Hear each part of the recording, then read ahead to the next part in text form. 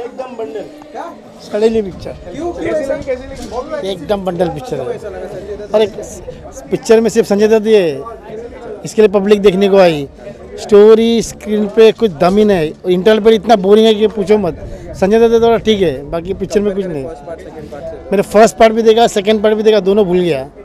पता नहीं कौन है उसके अंदर।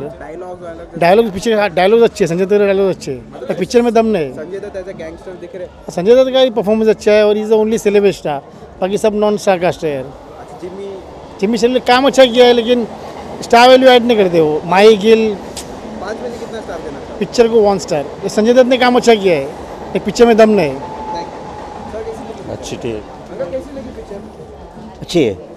अच्छी है अच्छी। बहुत बहुत बहुत अच्छी अंकल और ये अच्छा लगा कि वो जो विलन रहता है ना वो कैसे चाल चलता है। पकाऊ पिक्चर है भाई। भाई लगा भाई बकवास लगी तो संजय दत्त पे क्या हुआ क्यों बकवास लगी? भाई स्टोरी में दम ही नहीं है। कहाँ कहाँ जा रही है? कोई किसी का पता ही नहीं चला भाई। नहीं कुछ समझ आराम आराम से चलो। वेलकम करो क्या हुआ क्या हुआ? मज़े की नहीं है। स्लो पिक्चर बहुत है। स्लो है पिक्चर आपको वाह, पसंद नहीं आई मज़ा नहीं। ठीक है उसकी एक्टिंग पाँच में से कितना स्टार देना चाहो पाँच में से तीन। गाने गाने कैसे? गाने अच्छे हैं। डायलॉग्स कैसे? जुगनी अच्छी है। जुगनी अच्छी हाँ। हाँ और क्या मज़ा है पिक्चर और क्या पिक्चर स्लो पिक्चर है। तो क्या बोलते बहुत स्लो बोलो बहुत स्लो पिक्चर है। अच्छी कहानी कोई खास नहीं है। क्यों? क्यों हाँ। खास नहीं है? कोई कहानी खास नहीं है। हीरोइन कैसे लगे आपको? हैं? हीरोइन कैसे लगे हीरोइन अच्छी है। संजय दत्त की एक्टिंग संजय दत्त की एक्टिंग बहुत स्लो है। बहुत स्लो है? अच्छा अंकल इसमें रोमे पिक्चर बहुत स्लो है। नहीं नहीं इसमें रोमांटिक सीन्स भी थे तो आपको मज़ा नहीं मज़ा आया देखे नहीं आपने? अंकल कोई रोमांटिक सीन अरे कोई रोमांटिक सीन ही नहीं है। साला स्लो पिक्चर है। दो पिक्चर है। बहुत स्लो है। हैं? कोई खास नहीं है। तो विजय भाई, कैसी लगी आपको पिक्चर साहेब, बीवी और गैंगस्टर फ़र्स्ट वाली अच्छी थी सेकंड वाली भी ओके थी थर्ड वाली थर्ड क्लास साहेब, ये अपना क्या, इसका नाम? जिमी सिरगिल। बीवी ये बनिए माही गिल और गैंगस्टर संजू बाबा। संजू बाबा ने क्यों काम किया, पता नहीं चला।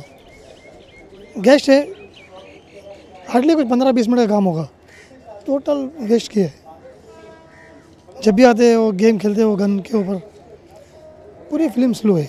दो घंटे बीस मिनट की पिक्चर है। लेकिन पब्लिक बोर हो गई। कुछ लोग तो उठकर चले गए। कई लोग। मैंने देखा मैं पीछे एयर में बैठा था मैं देख रहा था तमाशा लोगों का।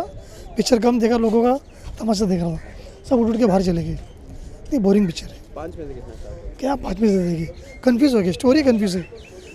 पता नहीं कौन कहाँ जा रहा है कुछ समझ में नहीं आ रहा है। तो संजू के बाद संजय दत्त जो संजय के बायोपिक तो होता है ज़बरदस्त सुपर हिट ब्लॉकबस्टर तो संजय ने काम करना ही नहीं चाहिए था। भूमि भी फ्लॉप हो गई थी ये भी फ्लॉप हो जाएगी। ट्वेंटी परसेंट था। कल इसमें एक ही एक ही अच्छा लगा। एक पुराना गाना उन्होंने एक बैकग्राउंड में बजा दे लगे जा गले से फिर रात हो ना हो। वो गाना बहुत ही अच्छा लगा। बाकी टोटल वेस्ट तो सर कैसी लगी पिक्चर पिक्चर इतनी कुछ खास नहीं बनाई है। थोड़ी पिक्चर बनाने को थोड़ा मतलब थोड़ा फास्ट करना चाहिए। अभी संजय दत्त के हिसाब से फास्ट होना चाहिए। जो इंट्री उनकी जो बताई, वो सही बताई, फास्ट में। लेकिन थोड़ा जो काम जो है, थोड़ा स्लो है। लेकिन इसके अंदर जो है पब्लिक को इंटरवल तक तो कुछ समझ में ही नहीं आया पिक्चर पिक्चर में क्या है? इसके लिए पब्लिक को थोड़ा ये है पिक्चर इतनी चलेगी नहीं, लेकिन संजय दत्त के वजह से थोड़ी बहुत पब्लिक आएगी। चाहे कुछ भी है, क्योंकि उनकी दूसरी फ़िल्म है आने के बाद।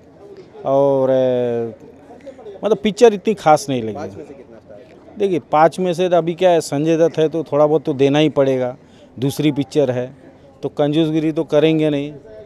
अभी अंकल अंकल को भी पसंद आया मैं आपको बोला था ना उसमें दो सीन ऐसे बताए हैं जो कि पिक्चर जो है मतलब नॉर्मल में चलेगी वो देखने के लिए बहुत जन आएँगे क्योंकि वो ऐसे सब सीन के लिए आते हैं सब जो बताया है इसके अंदर। सेक्स ओलोरेट किया ऐसा कुछ बताया है इसमें। सेक्स के बारे में बताया दो।